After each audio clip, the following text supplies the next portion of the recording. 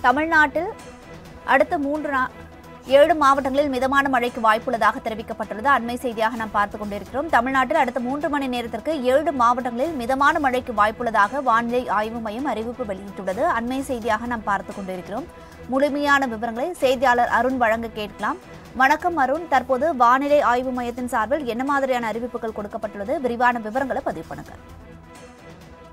நிச்சயமாக வருண்யா கிழக்கு திசை காற்றின் வேறு மாறுபாடு காரணமாக அதாவது நேற்றைய தினம் பொறுத்தவரை தென் தமிழக மாவட்டங்கள் டெல்டா மாவட்டங்கள் மற்றும் காரைக்கால் பகுதியில் ஓரிரு இடங்களில் லேசான முதல் மிதமான மழை பெய்யக்கூடும் என தெரிவிக்கப்பட்டது.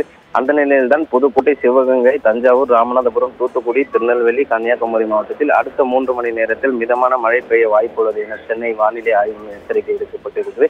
இன்றைய தினம் பொறுத்தவரை தென் தமிழக கடலோர மாவட்டங்களில் ஓரிரு இடங்களில் லேசான முதல் மிதமான மழை பெய்யக்கூடும் எனும் அதே அதே போன்று நாளைய தினம் மற்றும் மறுநாள் தமிழகம் புதுச்சேரி மற்றும் காரைக்கால் பகுதி பொதுவாக வறண்ட வானிலை நிலவக்கூடும் என நேற்று சென்னை வானிலை ஆய்வு எச்சரிக்கை விடுக்கப்பட்டது இருந்தது அதன் தொடர்ச்சியாக தான் அடுத்த நாற்பத்தெட்டு மணி நேரம் பொறுத்தவரை சென்னை தினம் பொறுத்தவரை வானம் ஓரளவு மேகமூட்டத்துடன் காணப்படும். அதாவது அதிகபட்ச வெப்பநிலையானது முப்பத்தி நான்கு டிகிரி செல்சியஸ் அளவில் இருக்கக்கூடும். அதே போல குறைந்தபட்ச வெப்பநிலையானது இருபத்தி ரெண்டு முதல் இருபத்தி மூணு டிகிரி செல்சியஸ் அளவில் இருக்கக்கூடும் என சென்னை வானிலை ஆய்வு மையம் தெரிவித்திருந்த நிலையில் அடுத்த மூன்று மணி நேரத்தில் புதுக்கோட்டை சிவகங்கை தஞ்சாவூர் ராமநாதபுரம் தூத்துக்குடி திருநெல்வேலி கன்னியாகுமரி மாவட்டத்தில் அடுத்த மூன்று மணி நேரத்தில் லேசான மழை பெய்ய வாய்ப்புள்ளது என சென்னை வானிலை ஆய்வு மையம் எச்சரிக்கை விடுக்கப்பட்டிருக்கிறது.